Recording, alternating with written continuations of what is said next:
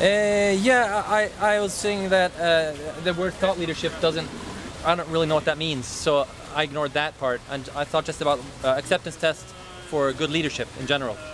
And uh, and the test, I came up with three tests. One is that I know who it is as a person, not not a committee or a, a group, but I'm, who is a leader, a person.